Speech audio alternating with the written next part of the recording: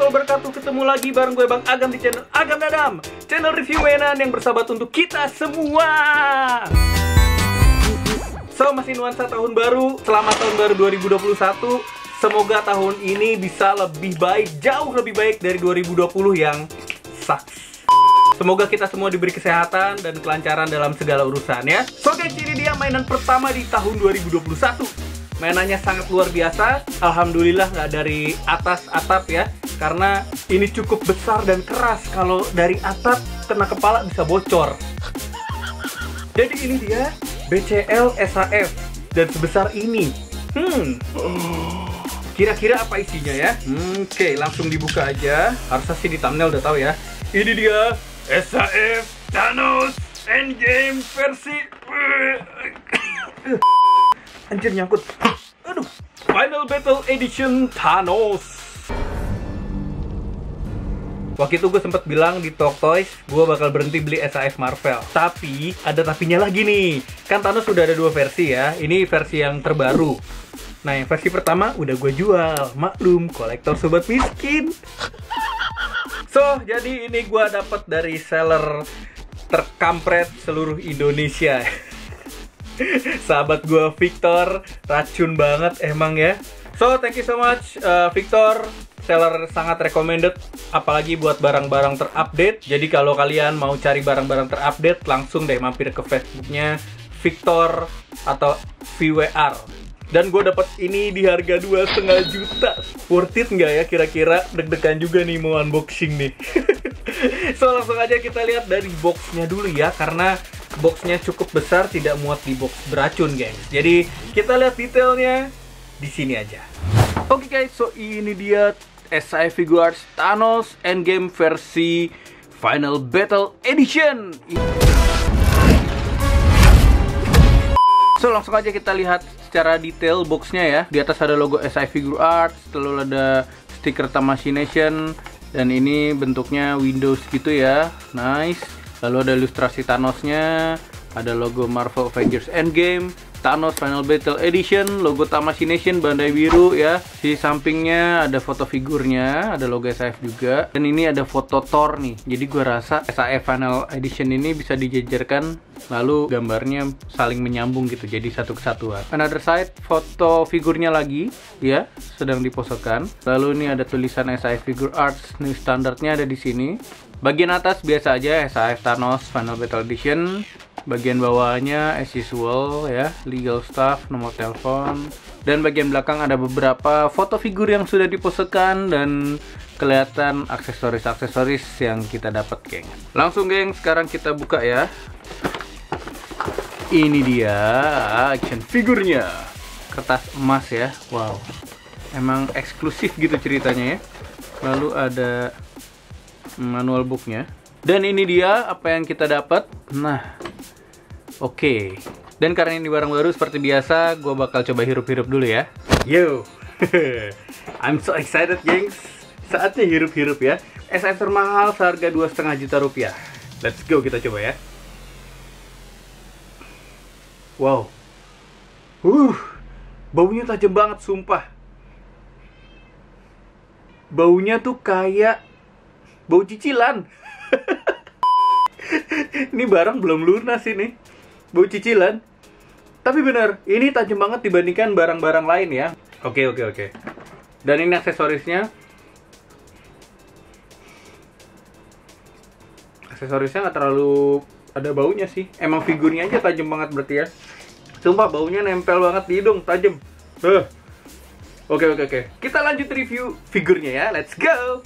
So, gengs, ini dia aksesoris-aksesorisnya yang pertama kita lihat action figurnya dulu ya. So ini dia SAF Tennis Final Battle Avengers Endgame. Wow, wow, wow. Ini sudah sangat-sangat lebih akurat dibandingkan yang sebelumnya ya. Tapi sayang gue nggak bisa bandingin dengan SAF sebelumnya karena sudah gue jual biar bisa beli yang ini. Simple aja sobat miskin gengs. Jadi harus uh, jual yang lama beli yang baru ya. Oke oke lanjut ke detail figurnya. Ini seperti biasa kalau SAF baru ada plastik-plastik di sela-sela torso atau pinggang ya Jadi kalau kalian beli SAF katanya baru tapi tidak ada plastiknya ini uh, bisa dipertanyakan lagi ke sellernya ya. Ini gue buka dulu. Oke, di tangannya juga ada gengs plastik ini. Oke, ini di action figurnya. Look like beres ya, emang keren banget nih. Beres banget, lebih akurat pastinya dibandingkan dengan SAF pertama. Detailsnya super wow gitu ya, super ajib. Nice banget. Bener-bener battle damage-nya berasa ya. Nice. Wow. Wow keren sekali gengs. Oke okay. dan ini yang sempat menjadi isu di uh, rilisan mainan-mainan Thanos angkatan pertama ya. Jadi bagian ininya tuh terbalik gitu ya. Konon katanya begitu. Ininya kebalik oke okay, nice nih kakinya dengan sculpt yang luar biasa. Sampai sol sepatunya juga lihat ya berasa ya sculptnya nice nice nice nice. Cuman overall dari semua kedetailan ini gue agak keganggu sama part ininya nih. Kelihatan gak sih kalau lagi diliatin gini tuh? Ada gapnya ya di antara paha dan pinggang tapi ini minor aja sih overall keren banget detailnya I like it a lot kita lihat untuk aksesoris yang pertama ini dapat uh, dua head sculpt tambahan ya Deadpoolnya lagi meringis dan lagi senyum. Berikutnya dapat aksesoris tangan mencengkram. Ya ini fighting battle lah, battle mode gitu tangannya ya. Lagi mau mecahin pala Iron Man. Yang ini tangan memegang senjata pastinya. Terus kalau dilihat dengan detail, ini ada efek-efek kotornya gitu, gengs. Jadi kulitnya Thanos di sini tidak semulus yang versi pertama ya. Ada kayak tanah-tanahnya gitu kotor-kotor coklat gitu.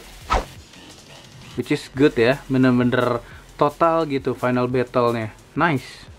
And then ini ada nano gauntlet yang sudah dipakaikan oleh Thanos. Detailnya luar biasa ajib banget sih.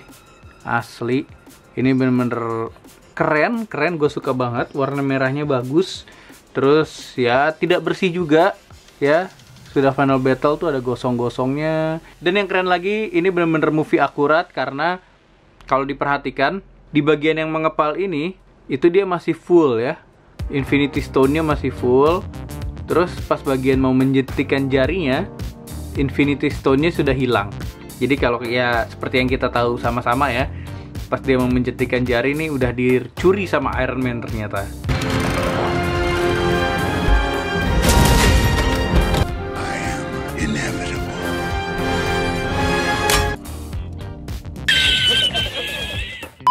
Gitu ya udah rebutan sama Iron Man.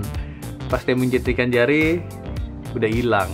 Ini keren banget sih. Berikutnya yang akurat lagi adalah senjatanya gengs ini yang jadi isu juga di awal-awal rilis mainan Thanos. Senjatanya itu tidak movie akurat. Gue cukup mengerti karena license design movie itu emang nggak langsung dikeluarin gitu aja. Even Hot Toys Thanos pun yang harganya jutaan itu juga nggak movie akurat ya untuk yang pertama ya. Sampai akhirnya dirilis lagi yang movie akurat. Jadi inilah senjata yang sudah movie akurat gengs. Detailnya keren banget. Wow. Wow nice banget ya sekali lagi ini kayak besi abu-abunya tidak abu-abu polos tapi ada aksen-aksen kotornya gitu ya. Keren banget. Wow wow wow wow wow wow wow, wow. lalu ini ada aksesoris. What the hell is this?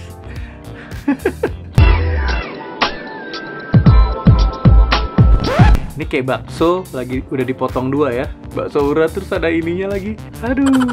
Uh, kegunaannya untuk naruh senjata sebenarnya tuh ya. Jadi kayak gini kegunaan aslinya. Cuman apa ya? Nanggung amat. Iya bisa sih buat jadi senjatanya berdiri tuh. Bisa sih. Cuman kalau lagi nggak ditaruh senjata kan aneh yang liatnya ya. Aduh, udah udah udah. Pikiran jadi ke mana-mana nih. Dan yang terakhir dapat aksesoris pipa seperti di lapangan series Doraemon. Kapal perang model Nobita Go beraksi kembali. Yaduh, ya ya ya. Ini aksesoris pipanya tempat uh, Thanos nongkrong-nongkrong ya. Setelah dia mendarat di bumi, dia nongkrong santuy gitu ya di lapangan reruntuhan gedung Avengers. Oke, kita lihat detailnya. Sebenarnya detail sculptnya sih udah cukup cukup oke okay ya. Pipanya cukup nice gitu, gue suka. Detailnya sampai bagian dalam tuh, kalau teman-teman lihat, tuh gengs kelihatan ya detailnya. Ini kayak sisaan e Avengers nih. Ini pipa spiteng kali ya. Tuh, cakep banget. Tapi ada satu yang agak kurang itu adalah cat bagian ininya sih bagian tanah-tanah gininya ya ini agak flat banget. Karena kita udah sering lihat customer-customer handmade teman-teman uh, kreator gitu yang suka bikin diorama tuh jauh lebih keren dari ini. Gue rasa mereka bisa bikin jauh lebih keren dari ini sumpah. Tapi overall ya cukup nice lah nice to have lah ya. Now saatnya gue mau coba artikulasi gengs. Dari kepala dulu rasanya sih ini bakal agak minim ya. Artikulasinya tuh hanya tengok kanan kiri sedikit. Ya dia copot. Oke ini agak ringkis ya emang ya. Menengok ke atas nggak bisa ke bawahnya juga sedikit. Jadi ke atas bawahnya juga sedikit aja tuh. Gitu-gitu doang. Lalu ini ada artikulasi di armornya gini. Jadi mungkin untuk membantu pergerakan tangan. Ini tadi yang copot. Armor aduh. Anjay rontok-rontokan semua. Oke. okay rontok lagi. What the uh, duh perih. Waduh pedes tangan gue oke okay, uh, biarin dulu deh. Ini bisa 360 derajat tangannya. Lalu ada butterfly join just good sini ya. Artikulasi sih bagus. Tuh bisa sampai segini. Tapi kalau dengan armornya gue rasa nggak bisa ya. Kalau ada armor maksimal segini aja. Yang di bahu ngapain bisa setinggi ini? Nih ya bedanya ya. Artikulasi di siku. Nih teman-teman ya kalau mau lihat ya FYI ini ya teman-teman yang gue kasih tahu tadi. Jadi badannya pun ada kotor-kotornya gitu. Ini kotor dari sananya ya. Lanjut artikulasinya di bagian tangan. Bisa diputar gini ke atas ke bawah pada porosnya as usual. And then di bagian torsonya kanan kiri dikit aja. Pinggangnya bisa 360 derajat. Tuh bisa diputer set ya. Kakinya bisa split segini jauh di bagian pahanya bisa muter-muter gini aja dikit. Lututnya segini jauh bisa putar dikit-dikit gini juga. Lalu bagian kaki bagian kaki ke atas ke bawahnya dikit aja tuh. Kanan kiri juga dikit lalu ada artikulasi lagi di ujung kakinya. Tipikal SAF anjir lagi. Ini bener-bener final battle banget ya gampang copot-copot gitu uh, perintilan-perintilan di tangannya. So untuk artikulasi, so untuk artikulasi gue sudah menduga dari awal sih karena So ini perbandingan dengan SAF Thanos, very first time SAF bikin Thanos ya. Lalu ini ada SAF Iron Man Mark 85 yang paling terbaru juga. Dan ini kalian lihat perbedaan warna kulitnya ya, Thanos yang dulu banget yang pertama kali sama yang Final Battle sekarang yang dulu lebih glowing ya. Kalau yang sekarang kulitnya sudah kusam nih. Sama dengan SAF Thanos Armor yang versi pertama juga. Warna kulitnya bright seperti ini. So ini perbandingan dengan ZD Toys dan Marvel Legends. Untuk ukuran namanya SAF tetap paling kecil di antara yang lain ya. Cuman kalau Thanos ini ya masih bisa ditolerir lah. Dan ini perbandingan dengan SAF Renewal Kamen Rider DK Wah settingannya baru lagi nih. Tiduran sekarang Aneh banget rasanya tiduran gini ya. Hai penonton, enak gak lihat review kayak gini? Atau mendingan di box beracun aja? Next, gue mau coba ganti head sculpt-nya. Ini sih gampang aja ya, tinggal dicopot harusnya. Tuh, tinggal dicopot seperti ini. Tinggal dipasang sesuai keinginan, mau ekspresi apa. Ekspresi grumpy, atau mau senyum-senyum manja. Seperti ini ya. Lalu kalau mau bikin scene yang helmnya digantung itu helm kosong ini tinggal dicabut aja uh, mukanya ya. Jadi diambil setengah helm tuh kelihatan lah belahannya. Dan jadi kayak Robocop. Pada tahu kan Robocop kalau helmnya lagi dicabut jadi kayak gini ya. Terus nih palanya dicabut aja. Nah seperti ini dimasukin lagi deh helmnya. Nah ini udah jadi helm kosong tinggal taruh di senjatanya. Gantung gitu ya.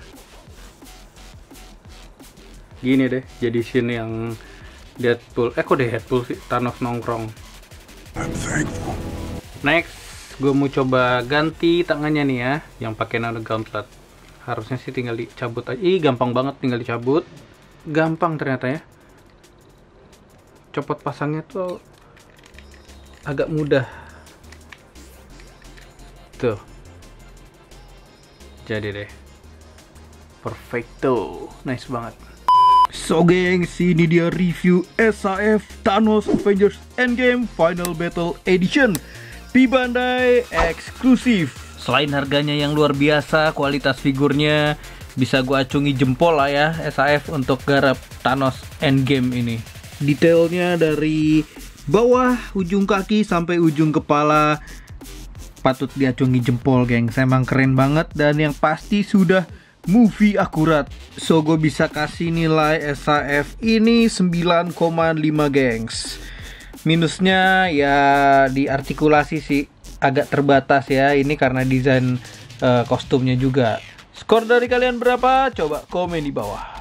So jangan lupa di like, share, dan subscribe channel Agam Dadam. Share terus ke teman-teman kalian Biar teman-teman kalian ikut terinfo dan keracunan juga pastinya. Jangan biarkan lo keracunan sendirian geng.